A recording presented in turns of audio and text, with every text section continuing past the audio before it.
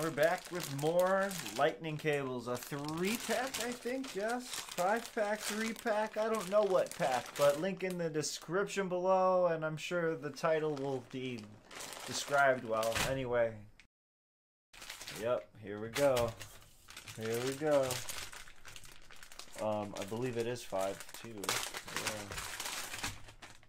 Yeah. One, two, three, four, five.